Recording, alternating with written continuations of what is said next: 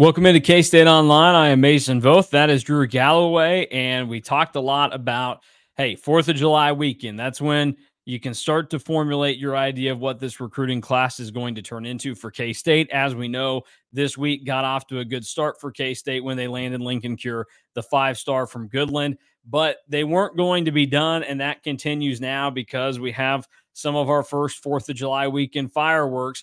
Monterrio Elston is now a member of K State's football class in 25. And this is significant because it's the first running back of the class for the Wildcats and uh, somebody that, I mean, just kind of fits to the mold of K State running backs recently now, where obviously Deuce Vaughn, and then you added Dylan Edwards through the transfer portal. And here comes Monterrio Elston, a, a 5'8, 170 guy, but a top 10 player in the state of Arkansas had that in state Arkansas offer, as well as numerous other Power Five schools. I'll rattle them off right now since they're not on the screen for you. But just if anybody else was curious, like had a Missouri offer, Georgia Tech was in there. So there were other Power Five schools and like SEC caliber Power Five schools regionally that wanted him.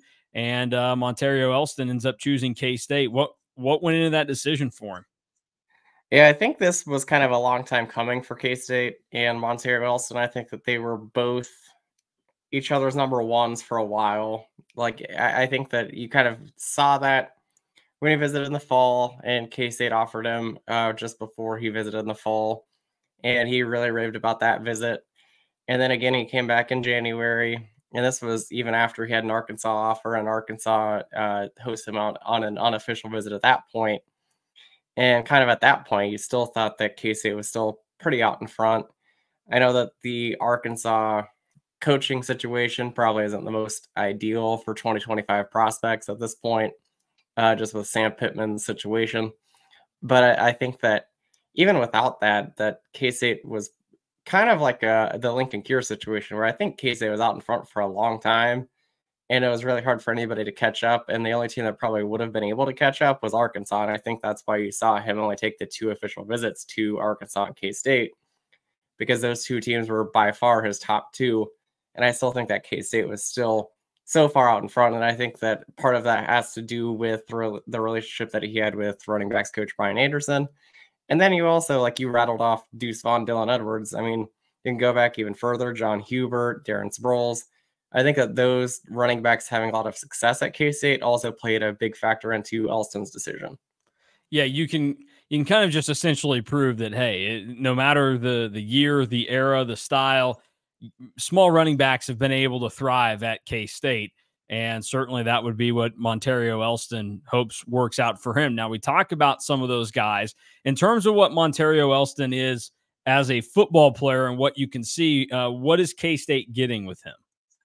K State's getting a speed merchant. Like he has speed for days, and you see that right away with this first play where he gets the ball, makes one cut, and that's game over. Uh, he's kind of like the Davon Rice, Dylan Edwards, Deuce Vaughn kind of type where one play is really all you need, and he can be a home run hitter. And I think that we're kind of seeing that that's kind of been the trend for K State on offense recently, where they want to maximize the guys that they have that can score on one play. And we saw that last year with Davon Rice and then adding Dylan Edwards in the transfer portal because I think that's something that K State was really missing last season uh, as a team.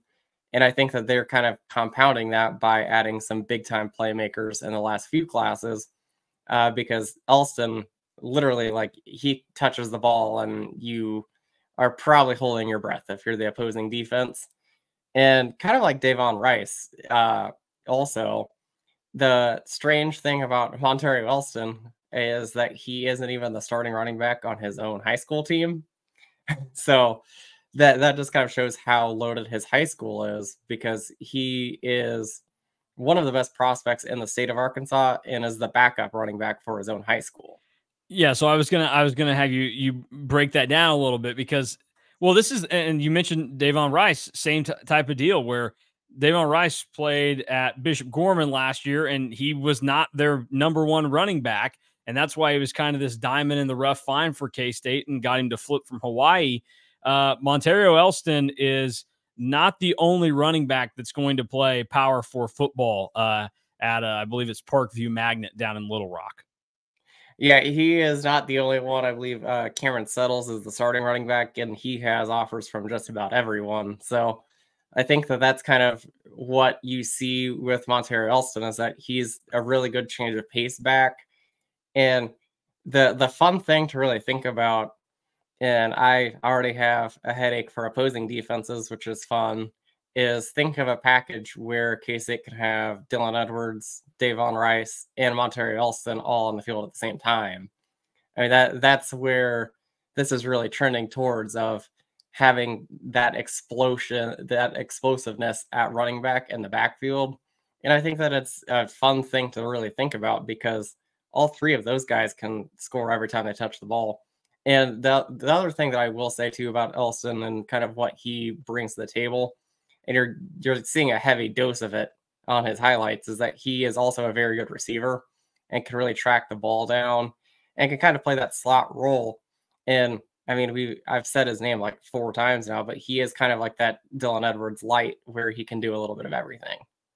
Yeah, so this is this is one of those for K State where they have an idea, they know that they've been successful with players like this before, and maybe the fact that he is a guy that isn't the number one running back on his team. Uh, uh you, you, I think that's one of the ways that you can kind of find ways to be successful in the margins as a staff recruiting in college football. Mm-hmm. If you don't have those resources, where hey, go find the really good teams and then see, okay, well, we know they're going to have depth. And Monterrio Elston, as we, we talked about, um, just four power four offers, and they're all, you know, from a fairly close vicinity to Little Rock. And uh, I think that's one of those deals where you're able to find some guys in K State seems to come through here. So, Monterrio Elston, in terms of what the overall expectation uh, might be for him once he gets to K State. There's obviously going to be plenty of guys in front of him, so there's no real need, to rush anything. But how would he uh, eventually fit into K State's future plans? Yeah, so that's the tough thing because Dylan Edwards still has three years of eligibility. DJ Giddens still even has has one more if he wants to come back. I know that we've kind of said that we think that it's probably a little bit unlikely at this point that DJ Giddens returns. Joe Jackson still has four years of eligibility left. Davon Rice still has four years left. So it'll be a, a tough it'll be tough for him to see the field probably right away. I think that the the time that he would probably get to see the field right away is special teams because he runs in the four fours and the 40. So I think that if he can kind of use that to his advantage, and be that kick returner, punt returner. And especially because we've talked about how we think that Dylan Edwards will be the kick and punt returner this season. If DJ Giddens doesn't return, you're probably you probably don't want Dylan Edwards to also do kick and punt return while being a starting running back. So I think that's one where you could probably see Monterrio Elston. But I, I think that his speed is going to get him on the field. But I don't know how much it will be early on because eh, – like the running back room at K State right now is just so young and so talented. It might be a little bit tougher for him to see the field on offense, so it might come on special teams. Yeah, so there's, I mean, K State is is in a good spot right now. I think with running back in terms of the depth they've built up there, and certainly that can change rather quickly. But Monterrio Elston will play into it, and uh, th- this is a guy that the the intention would be that you do something with him in the future. It's not just a a number that they've added. And we'll see what it looks like now moving forward for him. But the first running back of the class of 2025. Now, in terms of how many they might add, we know there have been some other running backs at K State shown interest in.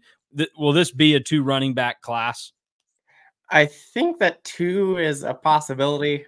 I I wonder now though, with losing DJ Dugger, losing River Peppers, does the second running back become a transfer running back? Is it another high school one? Is it a JUCO running back? I I kind of wonder if it will be somebody that has a little bit more experience because, and I think that if it is a more experienced guy, that's where you really kind of think to yourself that DJ Giddens is probably going to go pro, uh, because I think that a, a transfer of some sort at running back makes sense if Giddens were to leave, but another high school one probably makes sense if he were to stay. So it's kind of one of those where you kind of get to see a little bit of a peek behind the curtain of what's to come, depending on what happens with at running back the rest of the way.